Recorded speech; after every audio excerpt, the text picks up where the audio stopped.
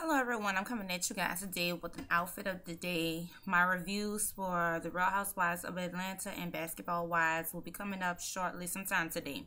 So I'm on my way to school and I just want to share my outfit of the day. Like this is like my second time doing the outfit of the day, so I do do more of these. So as far as my hair, I'm wearing Victoria and I think she's by Sensational. I'm not really sure and I think I have a video up regarding this wig. Um, as far as my face, I'm wearing NARS foundation, and I think it's in Moroccan or Dark 4. Um, of course, my eyebrows. I have on some mascara, a little blush, and I think I have on um, Love Rush Blush MAC. Nothing on my lips. I just have on some chapstick, and that's that. Um, the accessories, I'm wearing these silver hoops, big silver hoops, and they're from my beauty supply store, 99 cents. And I have on two necklaces. One of them is a shoe. It's a high heel shoe. And I got this from Miss Pretty Nurse 83.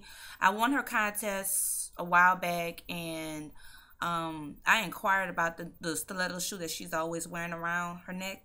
And so she was so nice to send me one as well. So that was so nice of her. And then I have this um, necklace on and it has like two little round things on it. You can't really see it.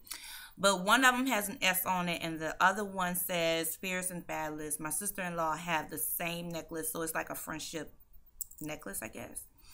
Um, then I have on this Guess watch and of course my wedding set. As far as my outfit, I have on this olive green um, military style blazer. It goes like this. And I got this from Express. And I have on this spaghetti strap black tank from TJ Maxx. And these jeans that I'm wearing,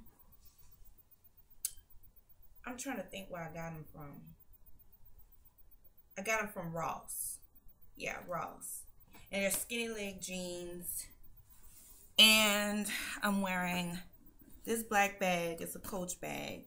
And I'm also wearing these shoes. And these are by Chinese Laundry. Yeah, Chinese Laundry.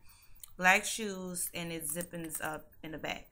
So that is my outfit of the day. I'm on my way to class. So like I said, I'll be back with the reviews. So